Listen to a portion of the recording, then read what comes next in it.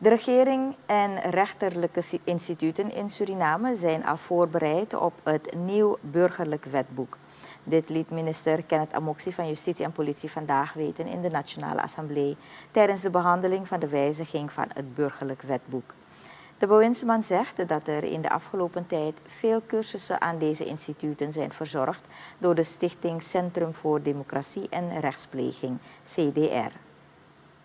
Deze cursussen zullen na het aannemen van het nieuwe NBW in een hogere versnelling doorgaan. Het is niet erg dat de cursussen doorgaan, ook na de inwerktreding van uh, de wet. Boeken over het oud-BW zijn schaars, voorzitter. En bijna iedereen gebruikt al jaren uh, nieuwe boeken die gebaseerd zijn op het nieuwe BW. Dus uh, gevoegelijk mogen we aannemen dat uh, iedereen al vertrouwd is met het nieuwe BW, voorzitter.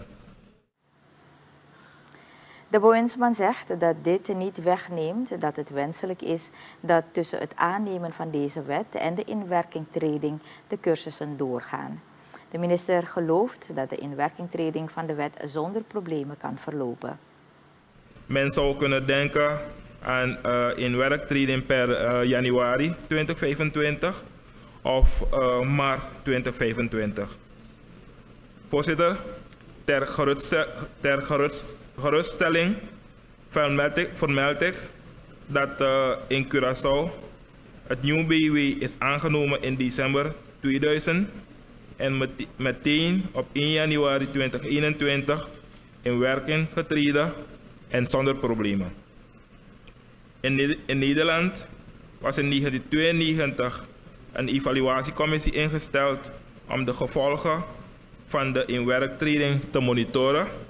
Maar de commissie uh, de opdracht na enkele maanden, heeft de opdracht na enkele maanden teruggegeven.